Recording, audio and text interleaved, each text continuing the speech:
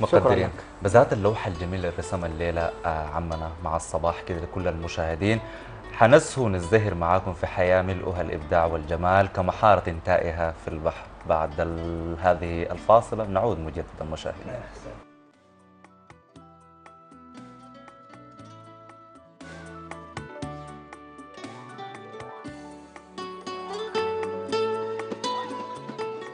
لكل قبيلة بالسودان عاداتها وتقاليدها وزيها الذي يختلف من قبيلة لأخرى. وفي كثير من الأحيان تتعرف على شخص من لبسه وزيه خاصة الأزياء النسائية.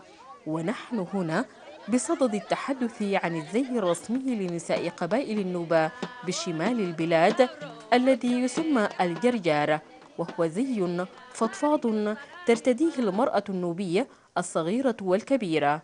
ويماثل الجرجار العباءة في الوقت الراهن ويتكون من قماش أسود اللون خفيف وشفاف يلبس فوق فستان طويل. الجرجار ده يعني الزي القومي بتاعنا حلفة كلهم يعني. وبعدين بتتكون يعني من الأقمشة مخ... أنواع مختلفة من الأقمشة يعني. في الغالي وفي الرخيص على حسب مستوى ال... ال... الناس يعني.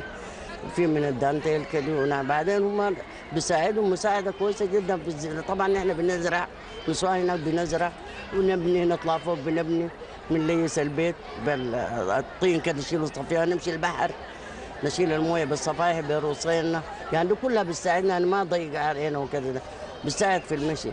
الطويل ده لما الموارد الطويل ده بين مرات بنمسكه كده. نمشي. كان في شمس نشيل نعمل به ضر نمشي به في, في الضر وبعدين لبس فضفاض يعني ما كاسيات العاريات دي ما عندنا يعني بعيد يعني كويس مننا. مساعدة شديدة يعني في أي حاجة. هسه كان قلنا نحاول نطور وكده عشان نقدر نشتغل. يكونوا قالوا حيغيروا من الطويل من ورا يكون ما في يكون قدامه ملون. عشان نقدر نمشي المناسبات. نمشي المناسبات كده إن شاء الله. الجريار عادة يغلب عليه اللون الأسود ولكن متطلبات العصر الحالي دفعت إحدى مصممات الأزياء النوبية لتجديده وتطويره من حيث طريقة التصميم وإدخال ألوان أخرى هادئة ومتناسقة من حيث النوع والشكل. شايف الشارع السوداني بقى يلبس الحاجات اللي بتجينا من الخليج وبقى تلبس الحاجات اللي بتجينا من الهند ومن الباكستان. فنحن كسودانيين عندنا زي وزي تراثي وحشمة وفضفاض وجميل. فأنا قلت لو أصلا مشكلة الزي بتاعنا اللون الأسود؟ ما مشكلة نغير اللون الأسود عشان كل الناس يلبسوه ونحن نلبس. يعني أبسط حاجة نحن كنوبيين نحن ما نحن ما كفاية إن نقول نحن أصحاب حضارات ما كفاية. نحن ما قادرين نجدد حاجة في الحضارة. يعني أبسط حاجة الحاجات اللي وجدناها الحاجات اللي وجدناها نحاول نحافظ عليها. يعني ما حاجة كثيرة إنك تحافظي على حاجة على إرث. ومن خلال الليلة الاحتفائية للزي النسائي النوبي تبارت العديد من الفتيات اللائي قمن بعرض الأشكال الجديدة والمبتكرة لليرجار الذي صمم على أجمل طراز حديث وبعيدا عن الصورة القديمة التي كانت معروفة في السابق. مما طمأن الحاضرين من النوبيين أن هويتهم النوبية ما زالت باقية لكن بطريقة مستحدثة. يعني بحس البنات هسه حاليا إنه يستخدموا الزي ده.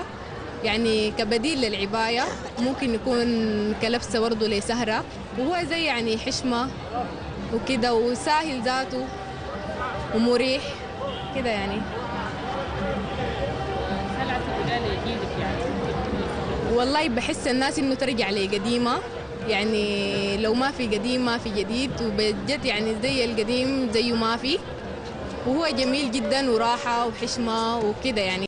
ورغم تداخل الثقافات على قبيلة النوبة نجد كبار السن من النساء النوبيات ما زلن يتمسكن بزيهن النوبي. ومن خلال حديثنا مع عدد من اللائي احتفلنا بليلة الجرجار أكدنا على عدم مفارقتهن للجرجار مهما كانت الظروف للمحافظة على الهوية النوبية بين قبائل السودان المتعددة. إن الجرجار مثلنا الأعلى من الأزل وهو ثوب ساتر وهو ثوبا نفتخر به ونحتز به ونتمنى من الله أن لا يتمحي وأن يتطور لأكبر وأكثر وأكثر ونحتز به كتراثنا وكثيابنا النوبية الأصيلة.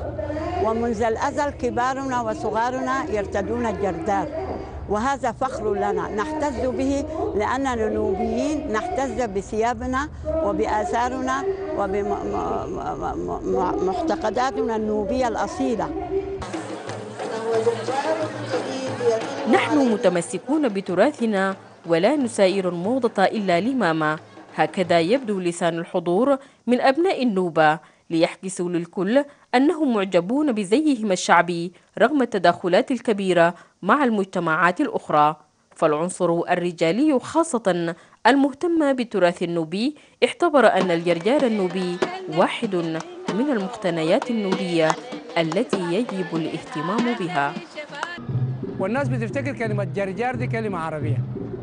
ما عندها علاقة بالكلمة العربية إطلاقا لأنها هي مسمى للباس النوبي. بالنسبة للرجال الجلابية اسمها البداي والمقتنيات النوبية من ضمنها هذا الجرجار اللي هو أصلا صناعة نوبية من قطن نوبي والقطن عند النوبيين بيسمى كشماك ودي واحدة من الحاجات الرايحة الآن. هم بيصنعوها بيغزلوها بالمغازل بالنول القديم وبيعملوها وبيصبغوها بحاجة اسمها تيفتا اللي هي اللون. ودي بتتعامل معامله خاصة ببعض الإجراءات الكيميائية من بعض الحجارة الجيرية. بيجيبوها بيسحنوها وبتتعامل. بعد ما يصنعوا من ال- القطن آه، ال- ال- النسيج بتاعهم بيقوموا يخلطوه. بعد كده بيقوموا يصبغوه. بعد كده بيقوموا يصنعوه يلبسوه.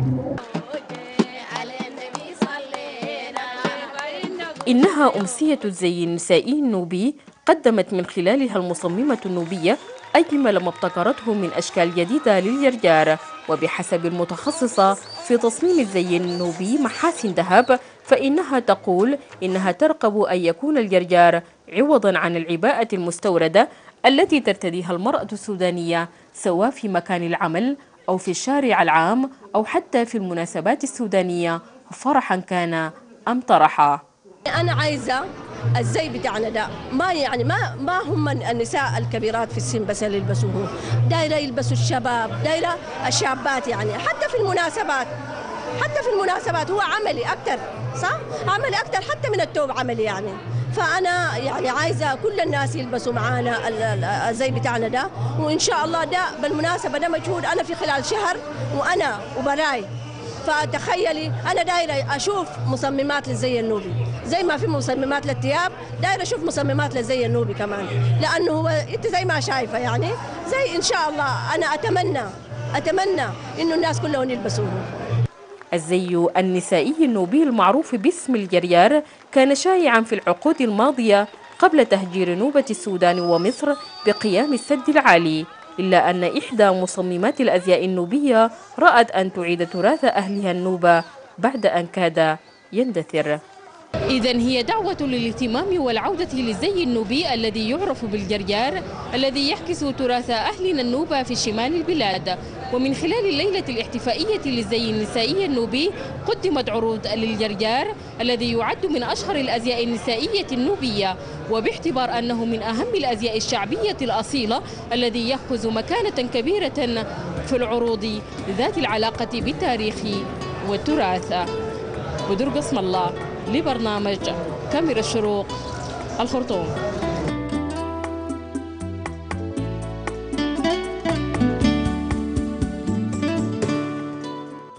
كان كاميرا الشروق آه، اللي تجولت من خلال آه، هذا الدفق الصباحي الحي حتى نشوف الأشكال الجمالية الأخرى والهوية السودانية لازم نرسمها في عقول شبابنا على أرض الواقع على وجه البسيطة.